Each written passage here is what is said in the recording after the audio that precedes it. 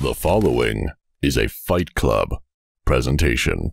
Back in January of last year, Ryan Garcia faced off against his toughest opponent to date, Luke Cool Hand Campbell. And while many thought Ryan would struggle, he instead put in a career best performance, proving he's more than just a social media star. With a vicious left hook to the body, Ryan Garcia made a resounding statement to the boxing world that beyond the gigantic hype around the popular 23 year old, the undefeated Garcia can actually fight. 2021 should have been a big year for him.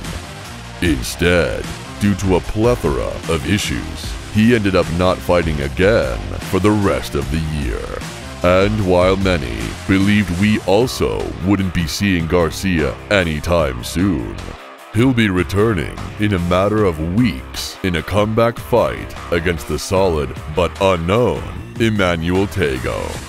Tagoe hits the jackpot, landing a fight he has desired for nearly two years.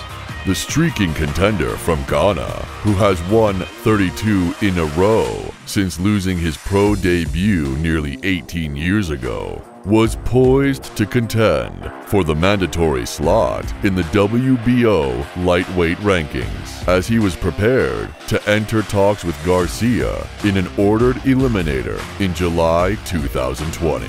The two sides discussed a potential fight only for Garcia to go the WBC route, which led him to his interim title win over Campbell. Tagoe has fought just once since then, a November 2020 10 round decision over Mason Menard. And the winner of Garcia Tagoe could be in line for a shot at lineal WBA, IBF, WBO lightweight king George Kambosos. After all, Garcia's name has been linked to a rumored three fight series. Garcia and Kambosos each taking one fight apiece before meeting in a head on collision later this year, though it has yet to evolve beyond loose chatter.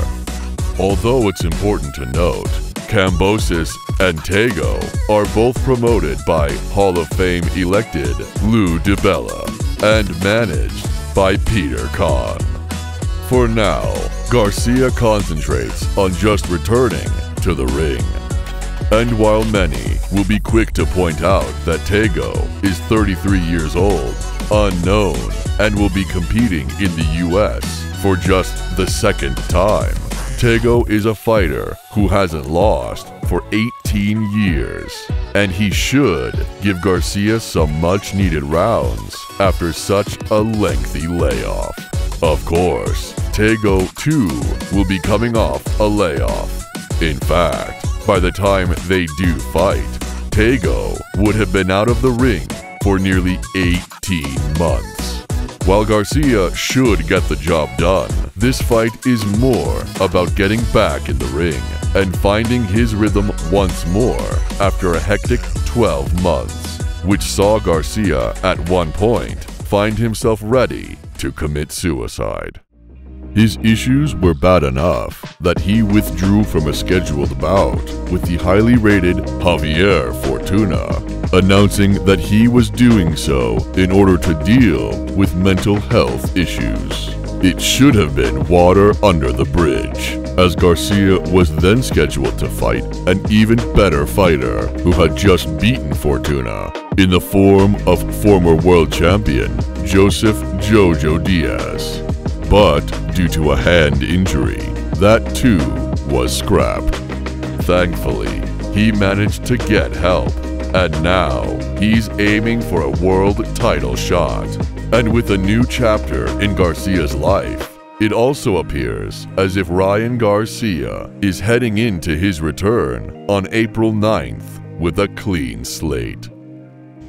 Well, Joe, uh, like I said, he's old school type of trainer. You know, always drilling the hands up and whatnot. It's really just clean up technique, making sure Polish- that polishing. um, you minimize yeah. the mistakes and uh, hopefully you know, things go well. It was announced via a release that Garcia will be moving on from Eddie Reynoso and will be working with Hall of Famer Joe Goossen. That change divides opinion. Reynoso has worked with the likes of Canelo Alvarez and Andy Ruiz Jr., and Ryan had fought four times with Reynoso, winning all four bouts by stoppages. And some have even raised eyebrows over the move due to it coming during a time when Canelo and Reynoso have questioned Garcia's commitment to training. At one point, Canelo stated Garcia is wasting time with his talent while not giving 100% to their team. I don't know what happened uh, I don't know what he's thinking about but he he said he wants uh, more time, right? I'm not sure, but I I have all the time for all the fighters. You ask Oscar, you ask everybody.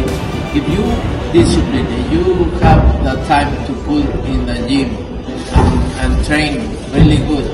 You put discipline, Eddie is always gonna be there. Garcia recently talked positively about working with Reynoso and Canelo, which many thought was a sign that everything was okay between the group.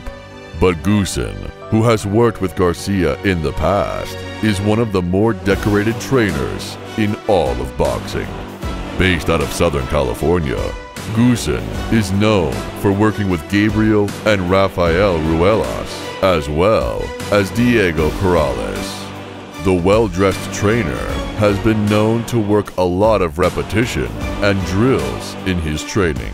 While different from Reynoso, Goossen still maintains a strict approach when it comes to his fighters. Fine, but he trained at my gym for you know quite a while.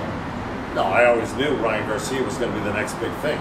This fight might not be what the fans wanted.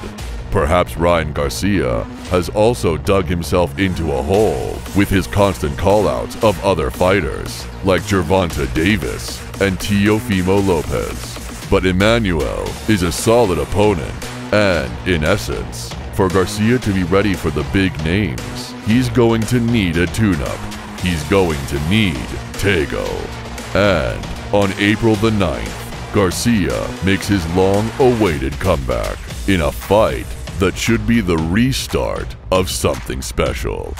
But after all the personal issues he's been dealing with, you just never know what Garcia we will be getting.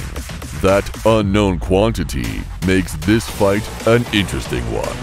And besides, Garcia is one of the most exciting fighters in the division. So regardless of what happens, this one should be fireworks for as long as it lasts.